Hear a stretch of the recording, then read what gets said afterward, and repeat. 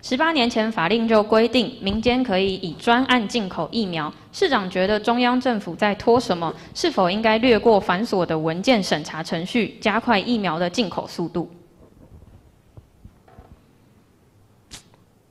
这一条哈，其实看到这里在哈，我想大家心里面都有一把尺了，你知道吗？到现在为止。新冠肺炎死亡人数已经超过一百个，也没有看过蔡总统出来开记者会。昨天那个高端的股票一跌停，你知道哈？刚好蔡总统就赶快出来开记者会。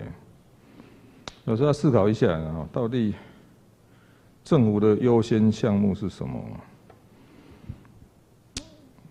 这这个是这样的哦。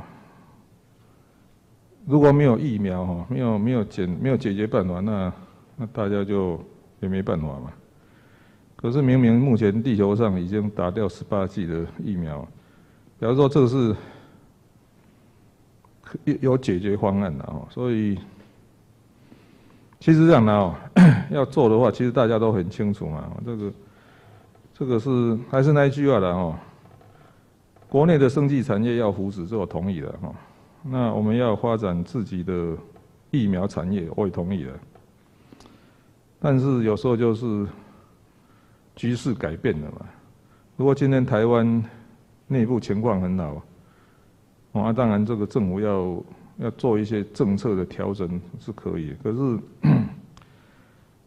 可是我们在第一线实际执政人非常清楚嘛。所以今天我们只要三级管制一放开。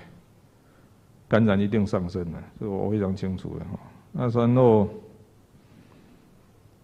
台北还算是医疗资源丰富的，同样的情形如果出现在台湾其他地方，会相当麻烦的。所以这个哈是有轻重缓急，你知道，还是要思考一看看。这到底问我的话的，我还是主张疫苗可以进来就先打了。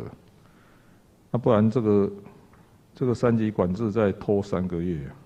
你有话想说却苦无发声的管道吗？你对事情有不同的见解却无人倾诉吗？年轻学子们站出来说出你们的想法，让我们听听年轻人的心声。闹变风向，强力征求学生辨识，只要你敢说，我们就敢要。赶紧拍摄影片，然后发送到我们以下的信箱，就会有专人跟你联系。还有还有，别忘了订阅我们闹变风向的 YT 频道，按赞，开启小铃铛，就不会错过我们精彩的辩论哦。各位朋友，闹变风向，敢嘴就来辩。